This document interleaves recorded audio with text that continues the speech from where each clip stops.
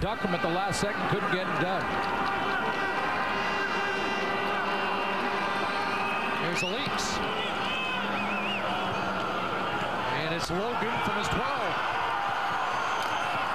End zone, and this is the reason now Exactly. the field position advantage Montreal should get is desirable. Good boot, though. Oh, got a hold of it. Huge kick.